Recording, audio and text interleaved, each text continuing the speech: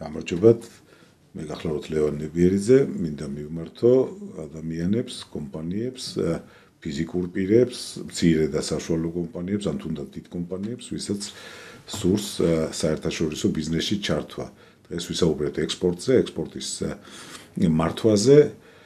თუმცა არ გამოყოფთ ერთმანეთისგან დაუშვათ ექსპორტს, იმპორტს ან რაღაც საერთაშორისო ბიზნესის სხვა ფორმებს, იმიტომ რომ საბოლოო ჯამში ეს ერთმანეთთან არის დაკავშირებული. ზოგი ადამიანი მუშაობს უკვე ამ სფეროში, ზოგი ეხლა ფიქრობს და ეხლა აპირებს და მინდა თქვა რომ დღეს მართლაც ყველაზე კარგი დრო არის ამ საქმიანობაში ჩასართავად. ზოგადად ერთი ხრი პროცესი, რომელიც მთელ მსოფლიოში მიმდინარეობს, შეიძლება ერთი სიტყვით აა მას დავარქოთ გლობალიზაცია, რომელსაც რომელიც ბევრში უარყოფით ემოციებსაც იწვევს, მაგრამ ნუ ბიზნესისთვის შეიძლება ითქვას, რომ კარგი ამბავია. ესე იგი დღეს სახელმწიფოთა უმეტესობა პრაქტიკულად მიმართულია საზღვრების შედარებით გამჭვირვალობაზე და ექსპორტის შესაძლებლობა იზრდება და იწევს კიდეც მას რომ ეს ადამიანის საქმიანობის ერთ-ერთი ყველაზე მზარდი სფერო სფეროა და შემოსავლების რაოდენობაც აი ამ სფეროში ძალზე იზრდება. გარდა ამისა ინფორმაციის ხელმისაწვდომობა არასოდეს არ ყოფილა ისეთი როგორც დღეს არის. და ნამდვილად კარგი საშუალება არის რომ ადამიანი ჩაერთოს ამ სფეროში და მცირე კომპანიებმა ცოტა გაბედულად გადადგან ნაბიჯები საერთაშორისო ბიზნესისკენ და საკუთარ კომპანიის საკუთარი იდეების ინტერნაციონალიზაციისკენ. ო პრაქტიკულად ყველაფერი იწყება პირველი კონტაქტით.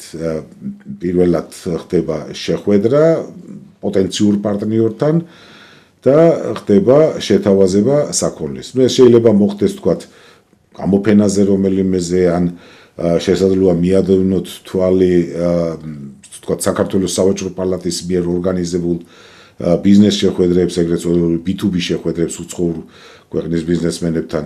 ნუ ასევე უცხოური საელჩოებით საქართველოს ხშირად ატარებენ ხოლმე ასეთ ტიპის B2B შეხვედრებს. მაგალითად ავსტრია გამოირჩევა დიდი ხნის წინ დაიწყო ეს 90-იან წლებშივე ნუ ასევე სხვა ქვეყნებიც მე პირადად ავსტრიის გამოცდილება მაქვს და აი აქ იწება კონტაქტები. ნუ რა თქმა უნდა ეს იგი კონტაქტების და ინფორმაციის მოპოვება ინტერნეტითაც არის შესაძლებელი, მაგრამ ნუ პირადი შეხვედრა ყოველთვის აჩქარებს საქმეს და იდეების გაცვლა გამოწვლა უწყობს ხელს.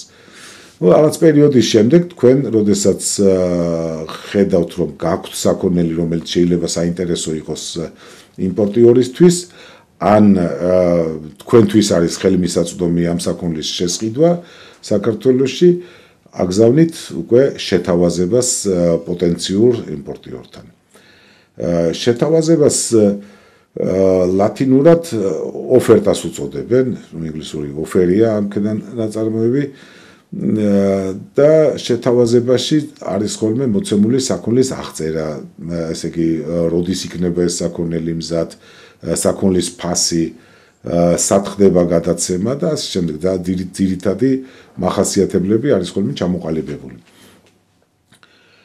თუ იმპორტიორი თანახმარი და აინტერესებს, მაშინ ის დასტურს გვიგზავნის, ოღონდ დასტური არ უნდა იყოს პრაქტიკულად დასტური უპირობო უნდა იყოს, ესე იგი, არ უნდა შეიცავდეს რაიმე პირობას. ნუ ან თუ მოგვივიდა აა წინადადება, რომ ესე იგი თქვათ, ჩემთვის საინტერესოა თქვენი საქონელი, ოღონდ 100 დოლარად და რა თქვათ და ალებეთ 90 დოლარად, ამას შემხედრო ოფერტას უწოდებენ და ესე იგი პირიქით მოითხოვს უკვე თქვენგან აქცეპტას.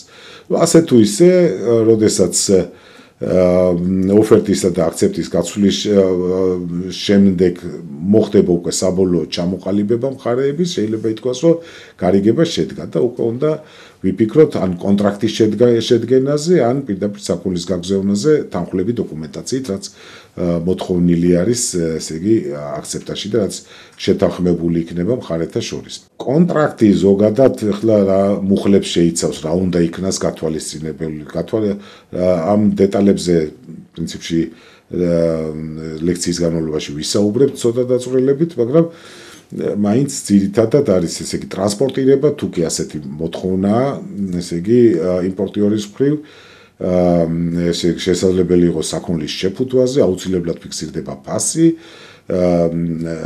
ხდება ესე იგი დავის წარმოშობის შემთხვევაში გადაწყვეტის საკითხი, ესე იგი არბიტრაჟი შესაძლებელია იქნას დაფიქსირებული.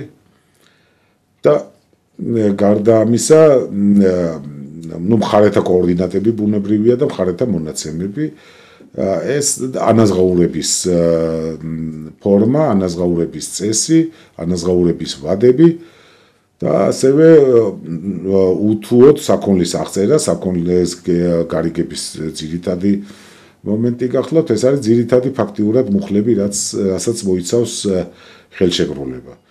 ნუ ამის შემდეგ უკვე ესე იგი, როდესაც ჩვენ მოვახდინეთ საქონლის იდენტიფიცირება, ვიწყებთ ზრუნვას თუ კი გაგზავნა არის საჭირო საქონლის გაგზავნაზე. აა კარგი იქნება თუ კი სრული წარმოდგენა გვექნება იმაზე თუ რას მოითხოვს ჩვენი საქონელი. ესე იგი, ამაზეც უამრავი ინფორმაცია არის ესე იგი გლობალურ ქსელებში, ინტერნეტში. მე გირჩევდით ძალიან კარგი საიტი არის TIS, ესე იგი Transport Information Service, სადაც შეგიძლიათ მიიღოთ ინფორმაცია სხვადასხვა სახის საქონელზე. ნუ აი მაგალითად მანდარინი რო ავიღოთ, თქვა. რითი ხასიათდება პრაქტიკულად ნახავთ ამ საიტზე, თუ გახსნით, რომ ესე იგი არის აღწერა რა წარმოშობა აქვს მანდარინს, რომელი ქვეყნები არიან ძირითადი ექსპორტიორები, როგორ გამოიყურება, რა ფორმა აქვს. გარდა ამისა, რა რისკები აქვს ტრანსპორტირების დროს, თქვა, რა ტემპერატურული რეჟიმით მოითხოვს გადატანა, საჭიროა თუ არა? ვენტილაცია, რა ვადით შეიძლება დასაწყობება და დასაწყობების დროს რა პირობები უნდა შეიქნას შესრულებული, რა რამდენ გრადუსზე უნდა მოხდეს დასაწყობება და რა სიხშირით და რა პერიოდულობით არის საჭირო ვენტილაცია. რა რისკები გააჩნია? არის თუ არა ოდორაციის რისკი, ანუ მძაფრისულის გამოყოფის რისკი, არის თუ არა ეთერზეთოვანი გამონაფრქვევის რისკი.